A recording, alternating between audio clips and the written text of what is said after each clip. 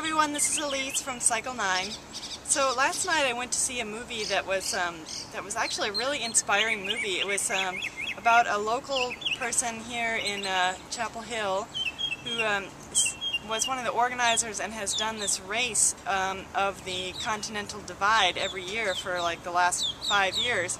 It's a 2,700 mile mountain bike race that starts in um, Banff, Canada and goes all along the Continental Divide to um, Mexico. It's totally self-supported, so you carry everything on your bike, you eat along the way, um, and this documentary movie was made about it that um, that follows uh, this person, Matt, who uh, lives here, and uh, two other folks riding in the race. And it was really, I thought it was a really cool and inspiring movie about um, an endurance event that, you know, we think of endurance events as very physical and, um, you know, difficult in that way, and of, of course it is that. Um, but, uh, but the bigger challenge, I think, it seemed like for most of the riders, was actually the mental challenge. Um, and there were several aspects to it. One was just the mental challenge of, of doing all that physical exercise, dealing with, you know, um, riding difficult terrain and for long distances, day after day, you know, physical um, knee problems and things like that.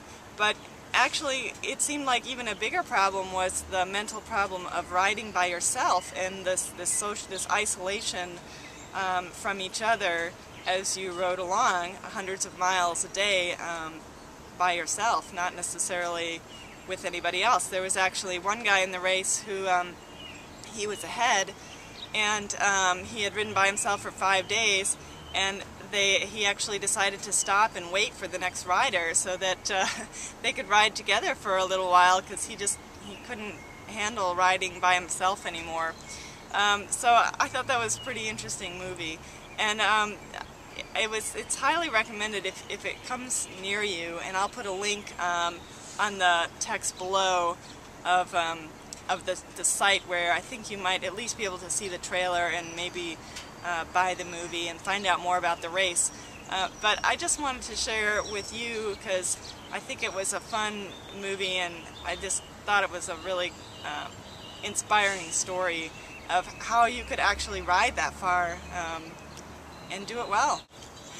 So that's my thought for today. Add comments below on my blog at cycle9.com um, or leave a note on Twitter. We have a Twitter account at Cycle9 on Twitter. Um, so hope to see you there and I'll see you tomorrow.